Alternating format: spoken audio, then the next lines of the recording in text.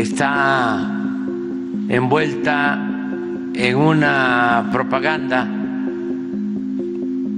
de mentiras, de sensacionalismos, de alarma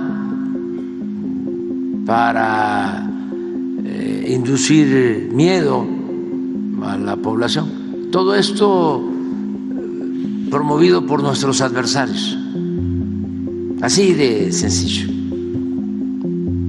Ustedes eh, ven los periódicos vendidos o alquilados a el conservadurismo y las redes sociales y tienen el tema de, de Sinaloa porque pues es como el tema de Cedillo el presidente Andrés Manuel López Obrador señaló que lo que sucede en Sinaloa es propaganda para desprestigiar a su persona y el gobierno que representa. Sin embargo, los 10 días consecutivos de violencia que ha vivido Sinaloa han dejado 48 asesinatos y 43 personas privadas de la libertad. A pesar del llamado de las autoridades, hay escuelas sin clases y 350 millones de pesos diarios en pérdidas económicas.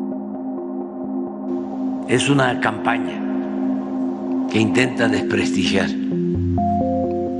al gobierno que represento, a mi persona, y no han podido, ni podrán.